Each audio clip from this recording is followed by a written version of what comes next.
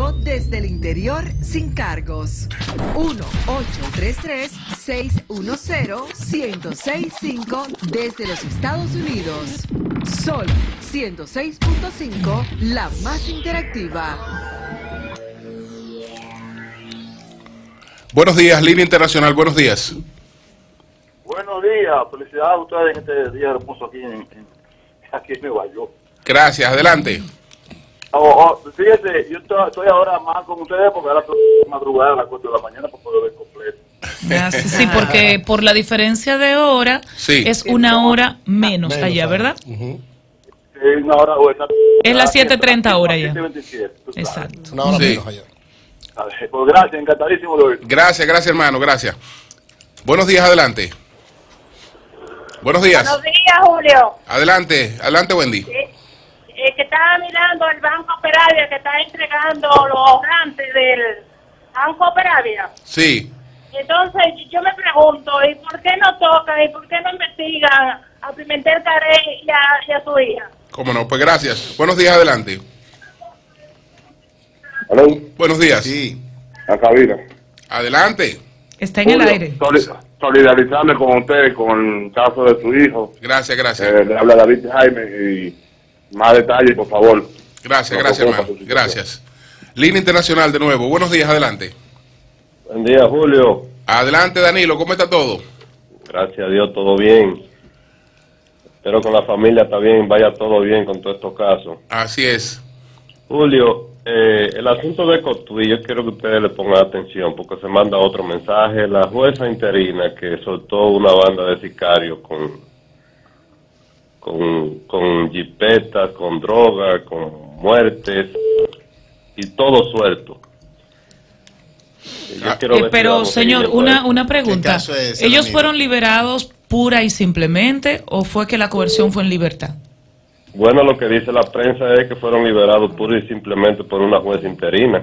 Por eso que quiero que Helen cheque poco tú y a ver qué fue lo que pasó por ahí. Lo, haremos, lo haremos. Gra- gracias, Danilo, lo- gracias. Así lo haremos, camarada.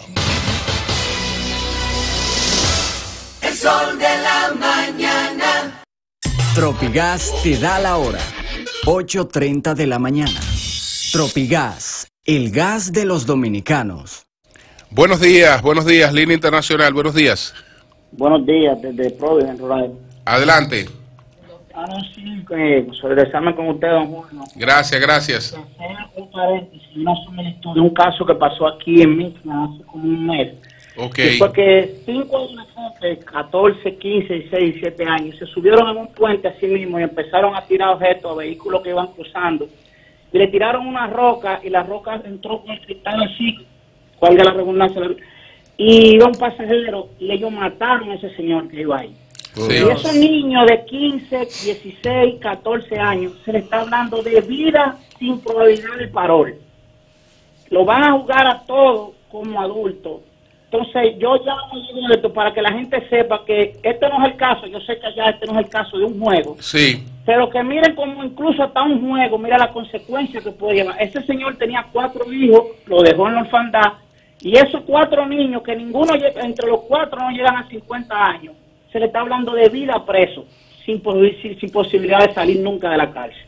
Bueno. Pues, muchas gracias, muchas gracias por ese aporte. Buenos días, adelante. Buenos días. Muy buenos días, Julio Martínez Pozo y ese gran equipo. Mi solidaridad, Julio, contigo. Gracias. Fidel Guzmán por aquí. Aniverca, Sí. felicidades.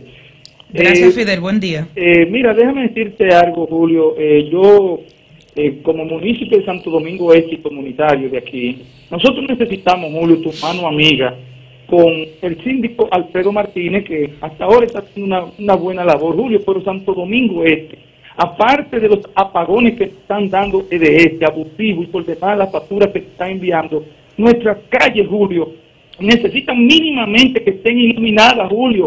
Eh, esto contribuye a muchísimas cosas. Eh, nue- nuestro barrio está en oscura, Nivelta, María Elena, está en oscura. Tú encuentras dos, tres, cuatro, cinco cuadros, eh, eh, Julio Martínez Pozo, en diferentes barrios de aquí, que simple, por simpleza, como subirse a un poste de luz de esto, revisar la bombilla, cambiar quizás la cerda de arriba, ahí se van resolviendo algunos problemas, Julio, pero no se está haciendo. Santo Domingo Este está oscuro y nuestra delincuencia sigue azotándonos, Julio. Necesitamos que tú como amigo de Alfredo Martínez, ¿eh? Eh, tu primo por apellido, por decirlo así, Julio, que se involucre en esto de la iluminación de Santo Domingo Este. Buen día, Julio. Gra- gracias, Fidel. Ahí está tu llamado. Buenos días, adelante.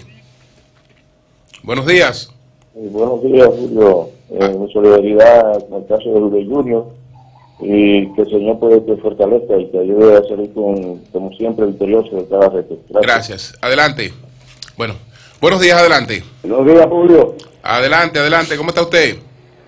No te puedo decir porque imagínate, yo Bueno. creo que- yo creo que tú sabes algo. Bastante. Sí, pero fíjate una cosa, que mucho siento yo lo que le pasó al hijo tuyo. Me da hasta vergüenza que esas cosas todavía sigan sucediendo en este país. Desde los años 90, desde el siglo pasado, estamos bregando con esa situación que todo el mundo sabe en este país, que eso es una de las manos más del narcotráfico.